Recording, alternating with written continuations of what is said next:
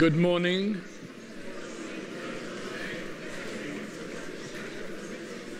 I feel very guilty about interrupting your conversations. Um, a couple of sort of minor admin things. Um, people have told me that not everyone's cataract operations were as successful as mine, and uh, therefore it's not always visible from the back.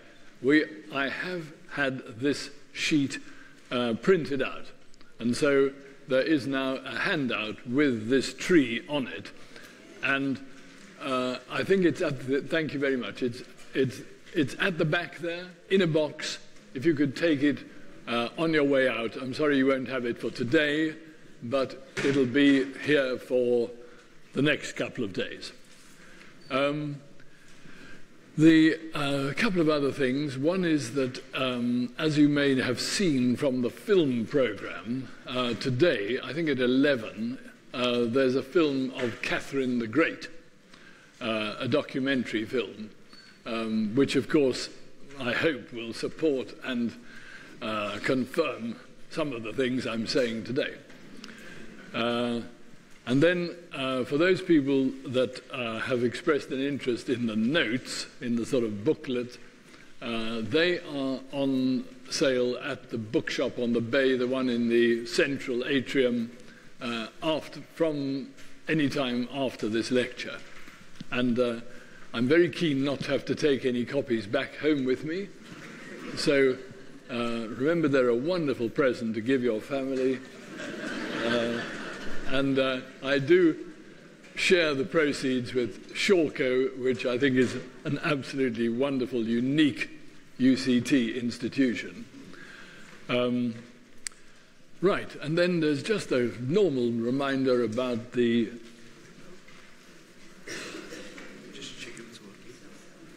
Right, And then there's just a normal reminder about the telephones. Um, I'm sure you don't need any reminders, but no harm in saying a few redundant things. Right.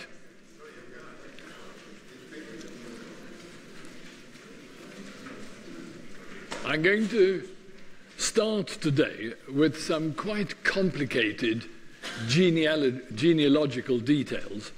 So uh, it doesn't really matter whether you sort of follow every step of it, uh, but if you can see the board or if you have got a handout, it might be helpful.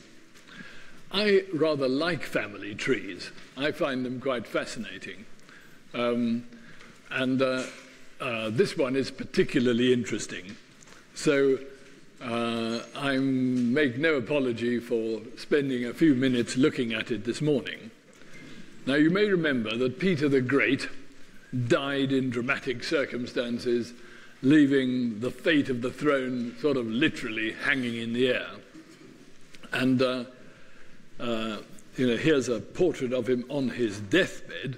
Now, here is a French portrait painter who's come to Russia to seek his fortune and uh, almost the first thing that happens to him is that Peter dies. Well, at least it gives him an opportunity to paint Peter on his deathbed. Uh, and that uh, ended when Peter, um, you know, this sort of vacuum ended with the succession passing to Peter's second wife, and uh, who, since her marriage, had been styled Catherine. And so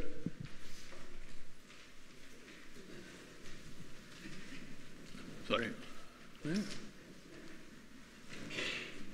Right. So here we've got, uh, where are we? Peter, okay? This is his second wife, Catherine. Do you remember? She was the illiterate Lithuanian peasant um, whom he'd more or less bought in an auction after a war, and uh, she stayed with him, or he stayed with her for the rest of her, of her, her life, or his life. Um, and interestingly, there was no prejudice against um, female rule in Russia. And in fact, for the 18th century, Russia was ruled by empresses for about 70 of the 100 years of the uh, 18th century. But female rule wasn't supposed to disrupt traditional male dominance. It was supposed to facilitate it, if anything. Um, and Catherine, Catherine I, um, she was very much in that mold. She had been promoted to that position by a sort of uh, cabal of palace uh, nobles, and she very much relied on them for the two years that she was on the throne. After two years, she dies, either of tuberculosis or alcoholism. Uh, we're not quite sure. Um, and they've now got to look around for a successor to her. Well, the best hope at this stage is Peter II. Can you all see? Does this little thing show up? Yeah. And Peter II, as you can see, is the son of Peter's son Alexis. Do you remember the one whom he may have strangled him, himself? Uh, but this boy is now the last, really, the last surviving Romanov. Um, and when he becomes Tsar, uh, at the age of 12, uh, contemporary accounts express great disappointment that he showed little interest in administration or politics. Um, not quite sure what's expected of a 12 year old. But in other ways, he must have been a precocious child because at the age of 14, he was apparently only interested in hunting, women, and alcohol. but at the age of 14, he too died, either of smallpox or of poisoning. Uh, probably we'll never know the answers to most of these questions. And so the result of this is that there are actually no male Romanovs left. And, but you remember, Peter the Great had had a half brother called Ivan. Do you remember that? And here is Ivan, okay? And he had married, and he'd actually produced five, or put it this way, the marriage produced five daughters. Um, many of whom, some of whom may possibly have even been his own and searching around for a successor to Peter, the boyars now choose Anna, the fourth of his daughters, as the next empress. Do you all see that? So here we have her. And uh, she had made a good diplomatic marriage at the age of 17 to another 17 year old who was the Duke of Courland.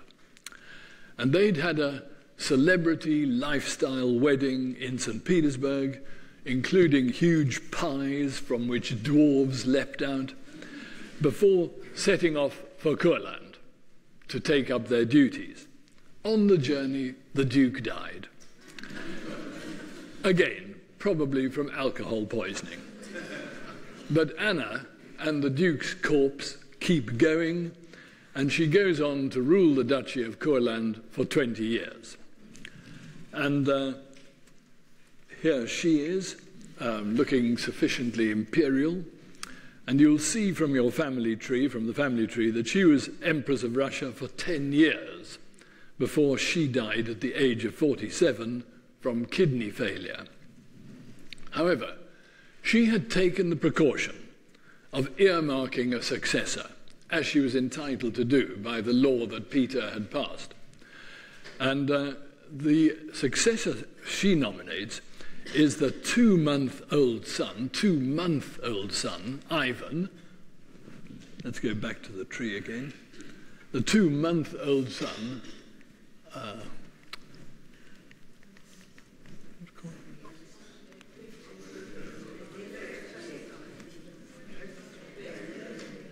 okay? And he is the son of her elder sister, Catherine, who has already died, and, uh, but he is the nearest relative to her on that side of the family. And so she nominates him as the next Tsar, and he's crowned Ivan VI. However, Anna's reign had been disliked because of its pro German attitudes, and Ivan's regency, which might last 15, 16 years at least, threatened to prolong that. So, this didn't sit well with the Russians in the 1740s. And there happens to be a good pro Russian candidate available, and that is Elizabeth. And she is the only surviving daughter of, not quite sure why this, uh, here we are. Uh, and where are we? Um, Elizabeth, here we are. And she is the only surviving daughter out of the 12, you remember, that uh, Peter and Catherine had had. She's the only surviving child. And uh, once again, there's an army backed coup in her favor, and little Ivan and his parents were bundled off to a lifetime of imprisonment. And uh, that's another, that's the close up of the same portrait of Ivan, of Anna, which you saw a moment ago. And here we have Elizabeth, uh, the daughter of Peter the Great. And uh, Elizabeth was a larger than life character in every sense of the word. And a, unique place in Russian history, which has earned the affections of historians ever since, is that in her reign, for the only time in Russian history, not a single execution took place. So, this is an unusual and distinction uh, and distinctive achievement. But she too produces no heirs. She had been uh, betrothed to another German prince, but he had died before the wedding, and uh, for, for I'm not quite sure why, she never seems to have found another man or another suitable suitor, uh, and so she does not have any heirs.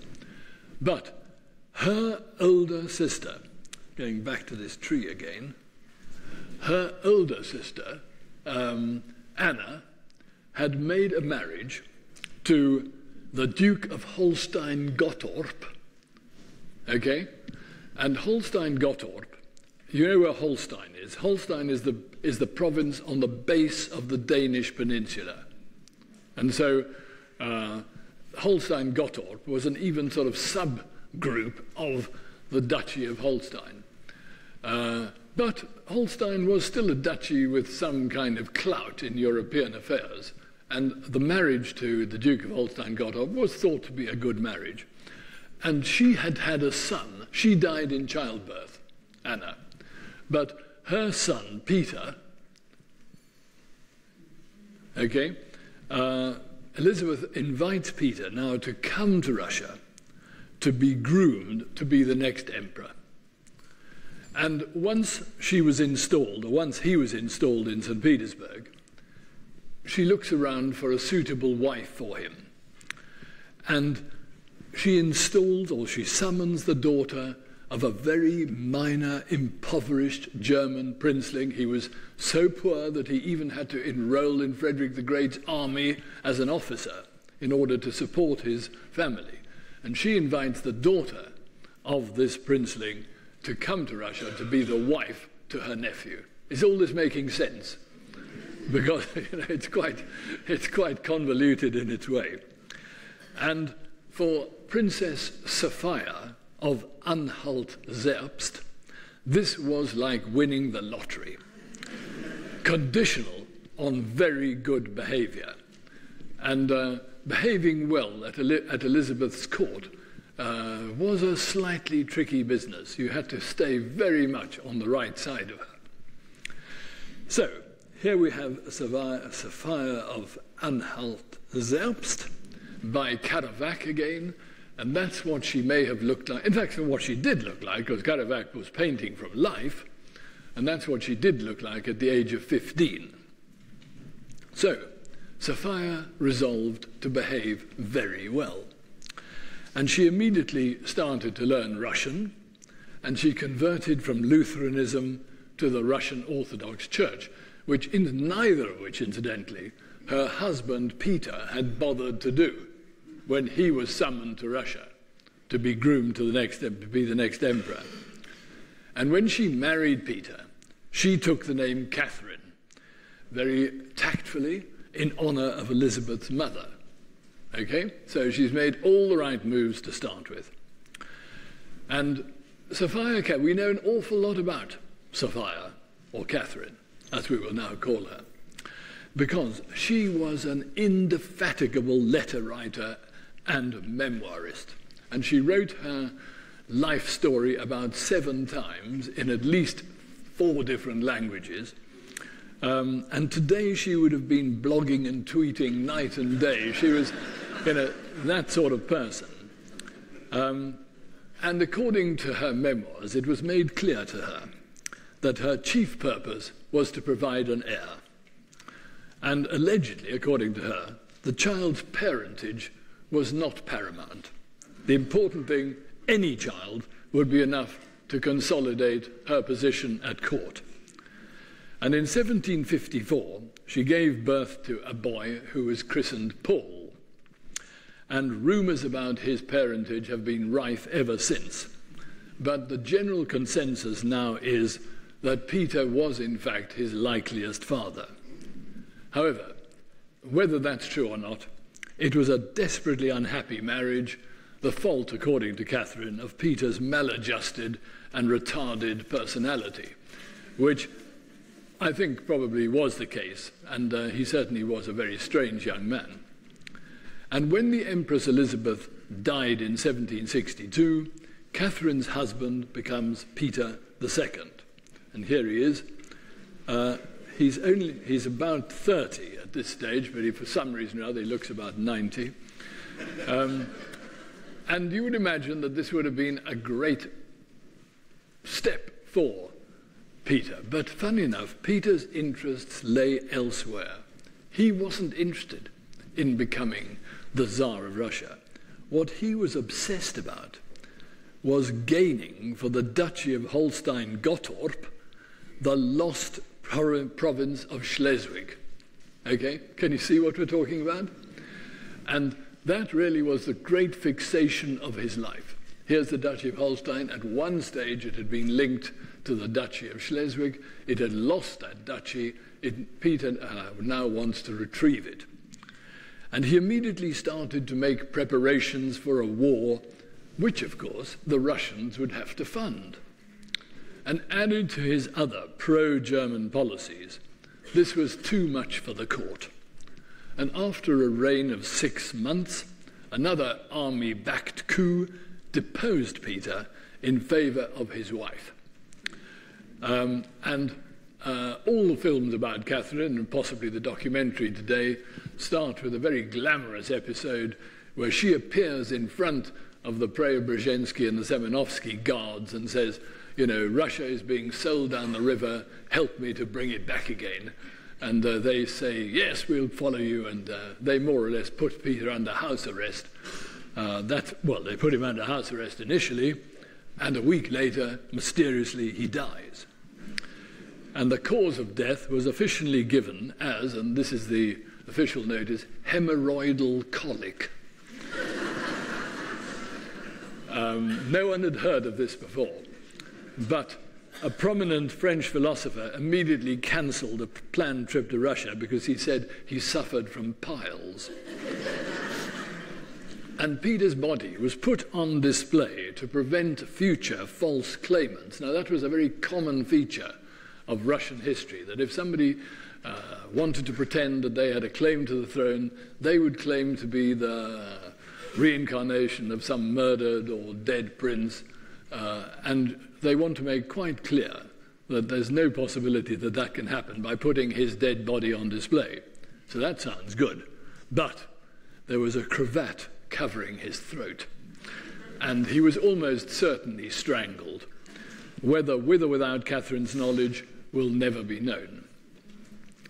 One last point before we look at Catherine's reign in detail. Uh, I've said several times in the course of the last two days how extraordinary it is that the Romanovs managed to scrape through to the 20th century. Not once, but many times. I mean, this dynasty has hung on by the skin of its teeth, you know, to power.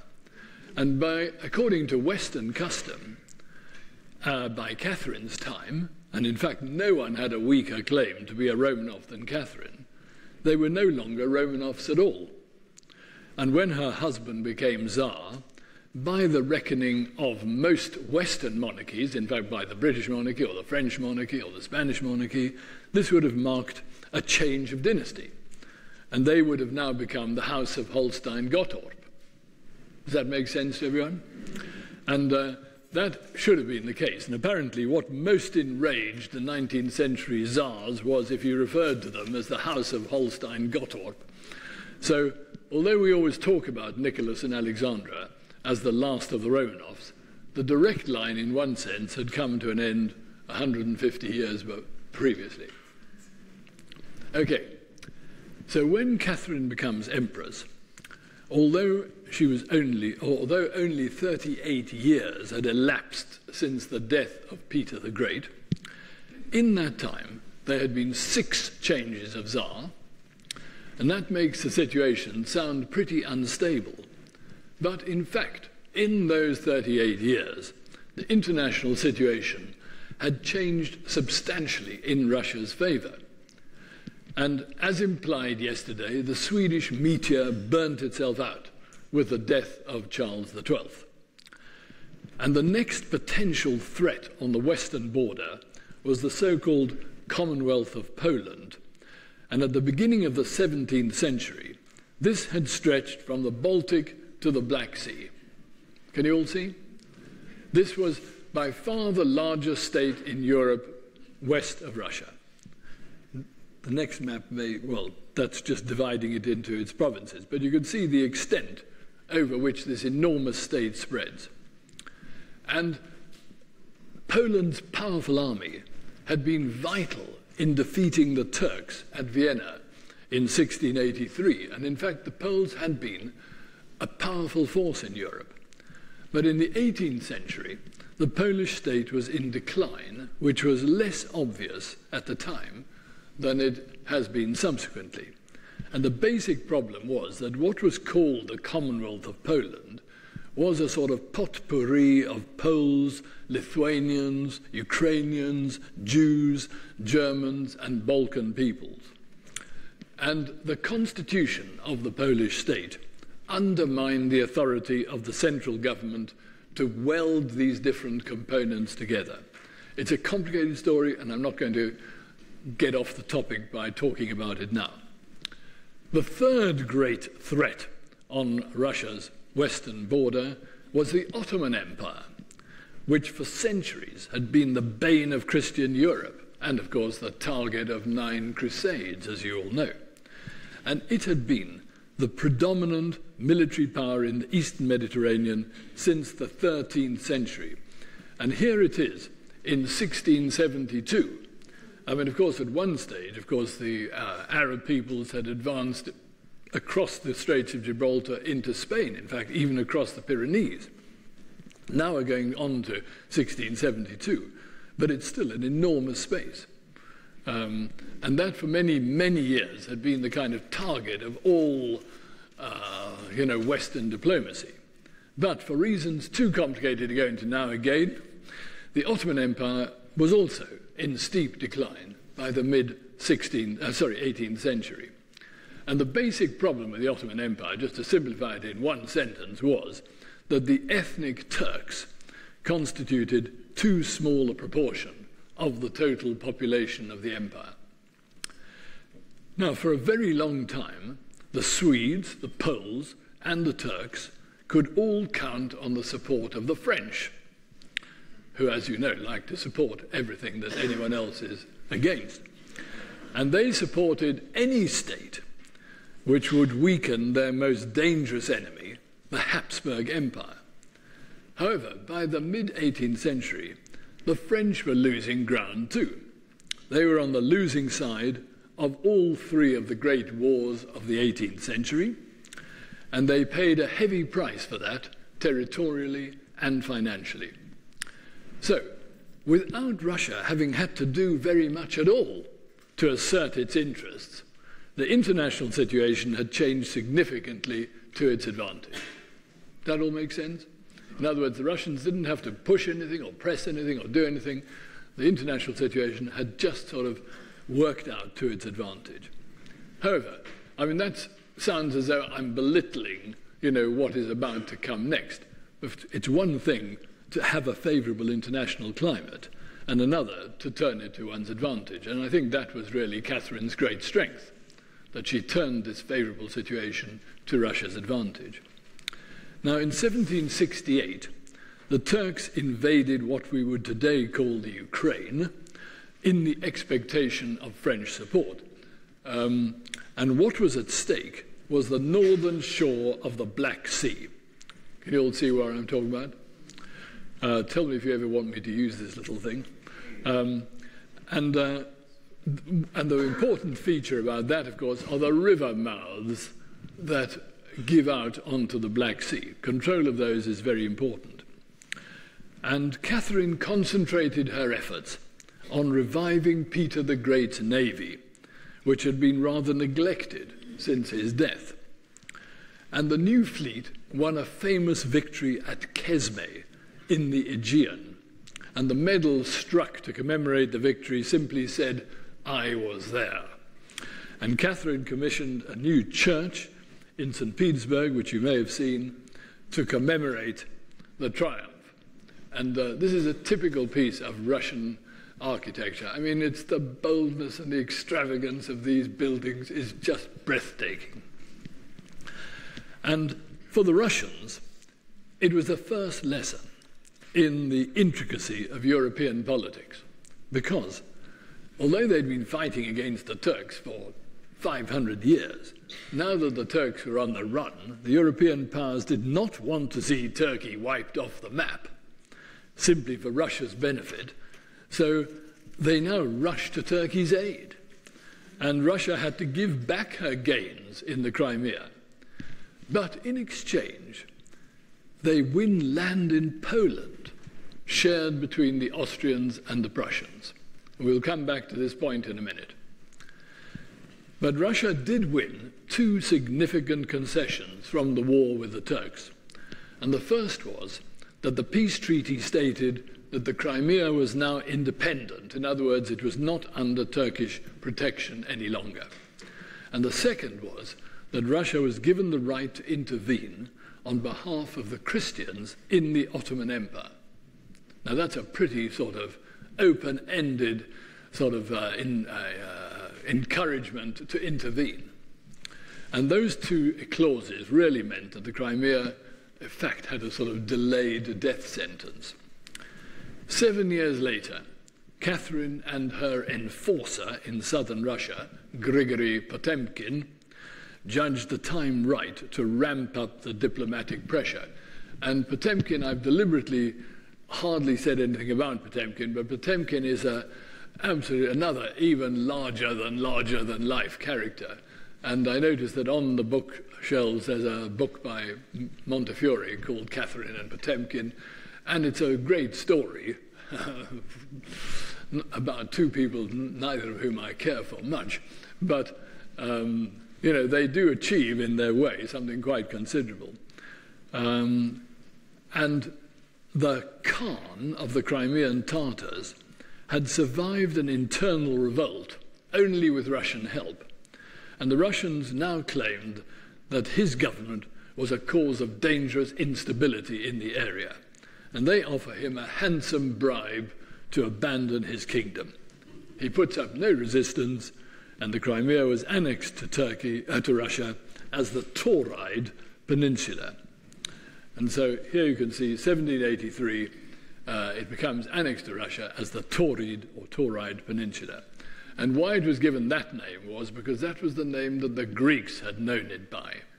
And what Catherine wants to do is to sort of link you know, this development with ancient European civilization. She doesn't want to give it um, an Asiatic name, let, let alone a Muslim name. So, after so many centuries of conflict, it had all been anticlimactically easy, but Catherine was euphoric. She wrote in gushing terms to Potemkin. She created him the Prince of Taurid, and she gave him an award of 100,000 rubles. And you might ask, where does she get all this money from? The point where the Russian uh, royal family get its money from is that they owned 17 million acres of land in Russia. And many of, much of it may not have been very productive. But what it amounted to was a huge income which other European uh, royalty would have given their back teeth for. So the Russian royal family has money um, which no other royal family in Europe has at the time. Um, and uh, this advance to the Crimea was a huge strategical stride for Russian diplomacy. And the rest of Europe have no doubt in which direction it's heading. And can you see this? Here on the left, you see Russia. On the right, you can see Constantinople. And that's what everybody fears that all this of activity is aimed at. And of course, the Russians had had their eye on Constantinople for centuries as being potentially a warm water port. Um, now, Potemkin's greatest and longest lasting achievement was to follow up the annexation of the Crimea with a constructive administration. And his biggest undertaking was the creation of a Black Sea fleet. And at, its at his death in 1791, it numbered 27 battleships, making it the second largest fleet in Europe. But Potemkin did more than anyone to change the face of southern Russia. He scoured Europe for productive settlers, often groups who had been rejected by everybody else Albanians, Greeks, old believers. They are a group of Russian Orthodox adherents who believe in a rather outdated form of the sort of church ritual.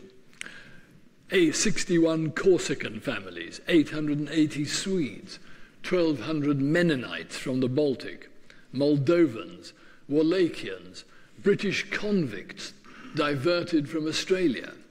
Everybody was welcome, even Jews, as he wrote to his agents, often quoted by biographers as evidence of his unusual liberalism. And he moved so many settlers into so called New Russia that its population doubled in eight years. He offered land grants and exemption from taxation for 10 years. He offered loans to start businesses. He built garrisons to reassure settlers that their initiative would be adequately protected. And today's southern Russian population uh, is the product of this extraordinary ethnic mix. He built new cities in the Crimea, Sebastopol, Mykolaiv, Odessa. And by 1787, he felt confident enough to encourage Catherine to pay a state visit to her new acquisitions. Now, Catherine's six month tour of the Crimea has quite properly entered the realm of legend. It was partly designed to advertise Russia's claim to the new territories, partly to impress foreign observers, and partly to allow Catherine and Potemkin to indulge in an orgy of mutual congratulations. The party travelled on seven gold and scarlet galleys, each of which was sumptuously hung in gold and silk and even had its own orchestra. There was a grand dining barge and the galleys even had flushing toilets, which was a luxury almost unknown in most houses. And they were followed by a flotilla of 80 boats carrying 3,000 troops and baggage and munitions. And almost the most famous feature of this journey are the so called Potemkin villages. Does the name ring a bell? Where Potemkin is alleged to have erected fake facades and herded spurious crowds in order to impress the emperors. However, as people say, you can well believe that Potemkin villages weren't necessary to pack the river banks with spectators as this astonishing procession glided past. On the journey, the King of Poland, another of Catherine's former lovers, joins the party under the name Count Poniatowski to preserve the fiction that Polish kings were not allowed to leave Poland. And two weeks after that, they were joined by the lugubrious Emperor Joseph II, the Austrian Emperor, whose alliance and good impressions were one of the prime purposes of the journey. And here he is. He's one of my favorite historical characters. He had his tombstone inscribed with the words, Here lies Joseph II, who failed in everything he undertook.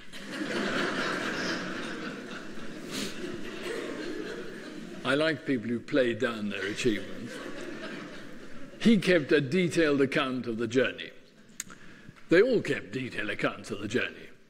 And at the new capital of Kherson, they laid the foundation stones of a new cathedral. Joseph gloomily said, Catherine laid the first stone and I the last. In May, the entourage arrived and installed itself at Bakhisarai, the capital of the Crimean Tartars. And here's Bakhisarai Palace. Uh, I think there's another. Yeah. Um, modeled on the Topkapi Palace in Istanbul, a sort of slightly miniaturized version of it. Um, and this spectacle stunned all observers, but Joseph commented, Here we are, lodged between the minarets and the mosques, where they shout, pray, sing, and spin around on one foot five times a day. but his talkative pessimism doesn't alienate Catherine. At least he's not a pea soup, she said. And they reviewed the Black Sea Fleet at Sebastopol, where Catherine wrote, All this so strongly resembles the dreams of the thousand and one nights that one does not know if one is awake or dreaming. Now, it's tempting to mock the hubris of Catherine and Potemkin's achievement, but the end result was, a much more, was much more than a public relations exercise. It created a new image for Russian autocracy, not the raw, pioneering, semi Asiatic image of Peter the Great, but a new, cultured, refined, sort of westernized image of Catherine. And in 1789, the situation developed further in Russia's favor when the French Revolution broke out, confirming many people's opinions about the danger of tampering with autocratic monarchies. The Poles caught the bug and they started to reform their constitution. Catherine destabilized that attempt by encouraging a pro Russian group to break away from the Polish state. And the Prussians thought more was to be gained by cooperation than by resistance, and they collaborate in a second partition of Poland. And uh, in 1795, another Polish rising was squashed by the Russians, by the Russians, the Prussians, and the Austrians in an attempt to preempt what they called the disease and madness of the French Revolution. And Europe watched in amazement as, in the space of 20 years, the largest European state west of Russia was wiped off the face of the map. And so here are the three Polish uh, partitions. Um, the, the, pink ones, uh, the pink ones are the first partition, which, as you can see, may have been justified to some extent by hiving off the Russian people or the Austrian people from the main group, but the rest are really just sort of naked expansionism.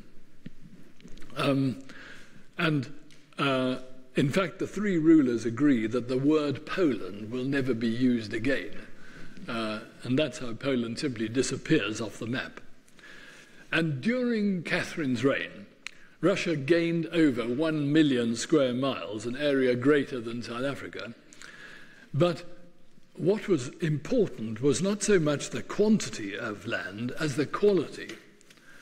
And um, here we have, you know, in the sort of darker brown, lighter and darker brown colors, the lands gained in Western Europe or Western Russia during Catherine's reign.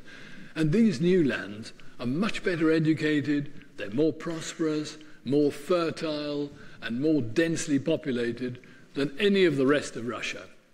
And during her reign, the population of Russia increases from 23 million to 41 million. Um, well, at this time, the population of France, which was the largest state in Western Europe, was about 25 million, and the population of Britain was about 5 million. So a state of 41 million you know, now becomes a significant player. And the new acquisitions move Russia into the mainstream of world politics, as the Napoleonic Wars were soon to demonstrate. And in some ways, I've always felt that in both the Crimea and Poland, Catherine was sort of is getting credit for having been pushing at an open door. Neither state was in a position to offer any serious resistance, but her great achievement was to manipulate the European situation in such a way as to get away with it. So let's look at the sovereign who is credited with this expansion and who certainly gave herself the credit for it. Um, well, here she is in 1786 at the age of 55, um, and I notice with interest that um, a new sort of um, mini series is being produced by Sky or by Netflix or something called Catherine the Great with Helen Mirren playing Catherine. Now, we all know Helen Mirren very slim, very sort of uh, petite. Uh, Catherine, of course, weighed something like 140 kilos, you know, at her death. So uh, I'm not quite sure whether they're going to pad Helen up to this or whether we're just going to have to have a suspension of belief.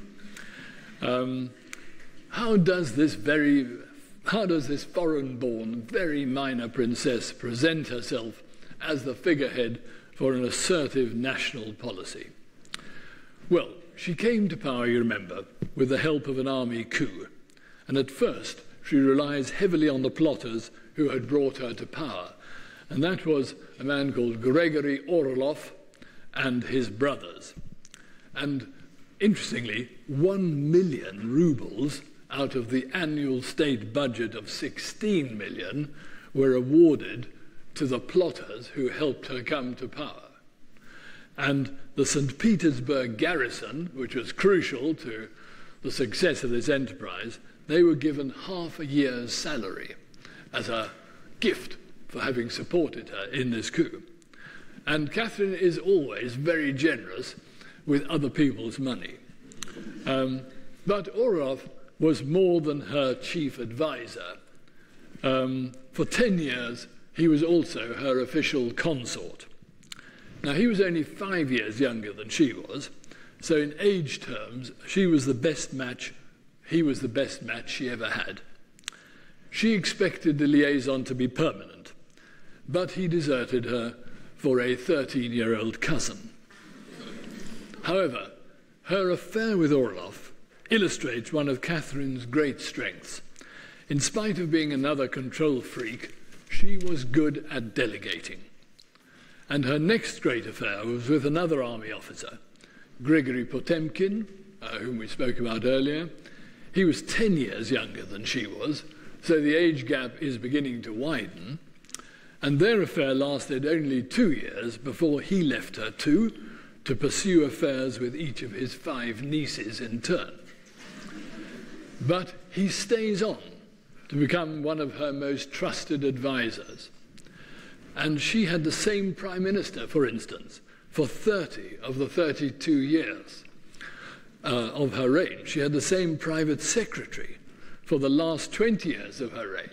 I mean, these are very unusual figures in any sort of autocratic monarchy. Her private secretary came from a family of minor Ukrainian landlords, and that was good because they, uh, that means that they were dependent, in a sense, on her patronage.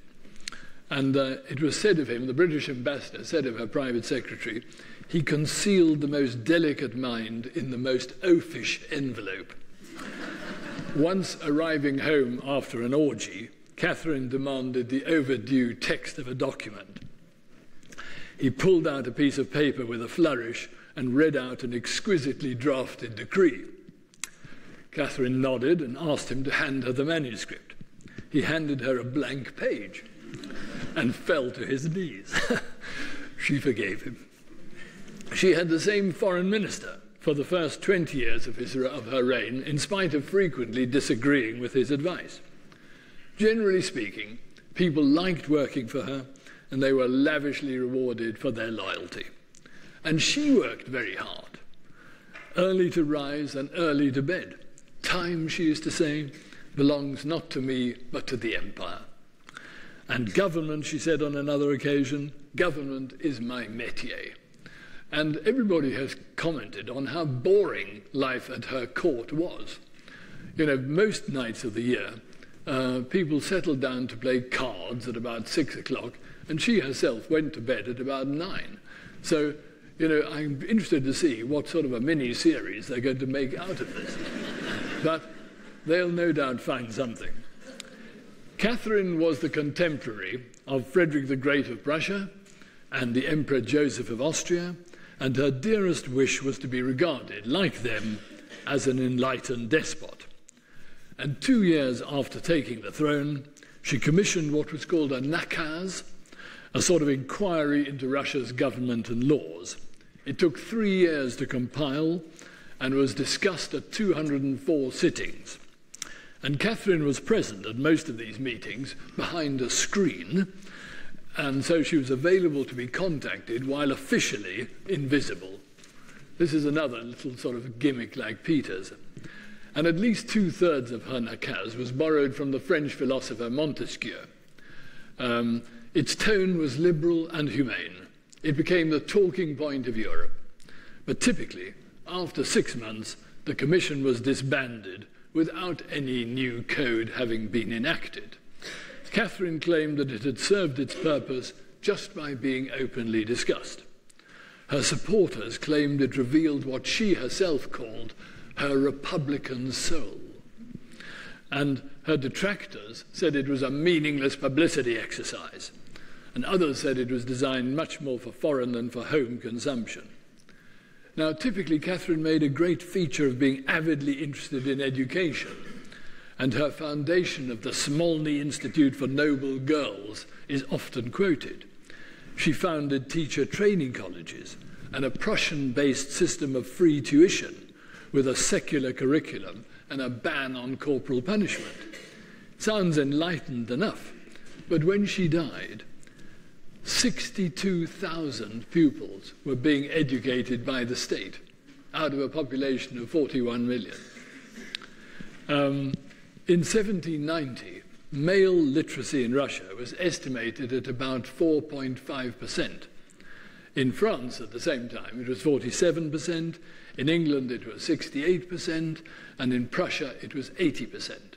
So, education, really, I mean, in spite of all her you know, uh, protestations to the contrary, has hardly moved at all. And no new university was founded after Empress Elizabeth founded the University of Moscow in 1757. Well, you might say, was there money available to do more? Well, we'll come back to that in a minute. The national health was another concern. Catherine heard of the London doctor, Thomas Dimsdale, who was practicing inoculation against smallpox. And she invited him to Russia to inoculate her and her son and heir, Paul. And at the same time, they laid on a relay of fast horses to speed him out of the country in case things went wrong. But her willingness to try something as dangerous and innovative as, uh, as inoculation was similar to Queen Victoria agreeing to try chloroform for childbirth in the next century. However, Dimsdale's treatment worked, and by 1800, two million Russians were believed to have been inoculated, of course, at their own expense. By 1773, there was a very serious revolt in Russia, which acted as a wake up call for Catherine's administration. And she responded with a system of local government which led the way to decentralization. And the root cause of the rebellion was a protest against serfdom. And Russian serfs had a situation not very different from the black slaves of the USA, except, of course, that they were of the same race as their masters. And Catherine made many pronouncements on the benefits of emancipating serfs, but enacted none of them. In fact, she increased the practice in order to bind the nobles most closely to her. And in 1785, for example, she rejected a proposal to emancipate the children born to serfs, which would have been possible, but she rejected it because it would have irritated her noble support. However, like Peter, who left behind the colossal legacy of St. Petersburg, Catherine also leaves behind an equally timeless legacy and that, of course, is the Hermitage. The Winter Palace had been commissioned by the Empress Elizabeth from the architect Rastrelli. But Catherine turned one of its wings into an art gallery. Many of you will have seen it. Um, I always say when you go to the Hermitage, the real star of the Hermitage is the palace itself. It's an absolutely stunning building. This is the so called Jordan staircase, um, which uh, takes you up to the upper floors. Um, and uh, it's one of 140 staircases in the building. And her collection began in 1764 with a particularly satisfying coup. Frederick the Great of Prussia had commissioned a Berlin art dealer to buy him 225 old masters. But he spent so much money on an unsuccessful war against the Russians that he couldn't complete the sale. Instead, Catherine snapped them up. And from then on, she bought up any large collection that was offered for sale. She herself said, It's not love, it's veracity. I'm not a lover, I'm a glutton. And when she made a huge acquisition in 1781, she wrote gleefully, The purchase of the Bodin collection of paintings has made many collectors green with envy. And you can see, it's not the art she wants, it's the true collector's mania of stealing a march on the opposition. But it wasn't just paintings that Catherine squirreled away. She amassed a huge hoard of precious stones. Of one purchase, she wrote, Four people carried two baskets containing half the collection. You can tell how greedy we've become. And she then turned her attention to cameos. And about 15 years ago, we attended in London an exhibition of 500 of her cameos. And these were, uh, you, know, you know how big a cameo is. And uh, the 500 that were on display were the ones by either by famous artists or of famous subjects. But do you know how many cameos she could have had in her collection? 10,000. She could never, ever have looked at half of them. Um, she also liked porcelain dinner sets, and she acquired about a thousand of them. This is the very famous frog set that she commissioned from Wedgwood. And at the top, you can see uh, a little sort of frog. You know, every piece on it, you know, has a little frog to decorate it. And they all are decorated with a picture of some Russian palace. In 1766, she rescued the French uh, philosopher Diderot from bankruptcy by buying his library. It became the first of many. But for me, the real condemnation of her collection is that it was never on view to the public. She once wrote, Only I and the mice can enjoy all this. The famous Hermitage Gallery, which many of you will have been to, was only opened in 1852, 60 years after her death. And all the while, remember, only 62,000 of Russia's children are being educated by the state. And she's just